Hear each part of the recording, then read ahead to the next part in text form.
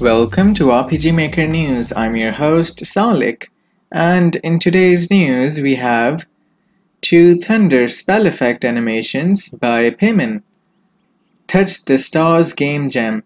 This is an official MZ exclusive game jam hosted by Komodo. The winners will get a cash prize and their game will be published on Steam as a sample MZ game.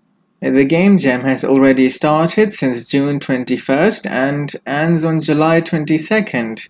And also, for the period of this game jam, RPG Maker MZ is completely free to use, so feel free to invite your family and friends to take part in it as well. Next, we have two new MZ plugins. A plugin by Hakuen Studio that replaces the default font system and allows using bitmap fonts instead. Bitmap fonts are PNG image files that can provide sharper and better visuals for the font in our game. Another MZ plugin by Lord Valina that allows us to implement a friendship and romance system with actors and events. MZ has now been updated to version 1.3.0.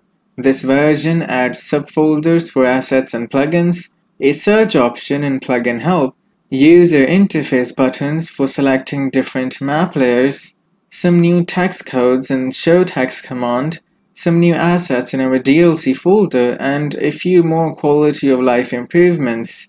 Next, we have around 500 kitchen related sound effects by Amadeus Herrera, a large airship sprite by Gabralik, and lastly, a pack of 21 sprites and portraits designed by the members of the official English and Japanese RPG Maker forums. That is all for today. Now go touch the stars, and why not grab it whole while you're at it?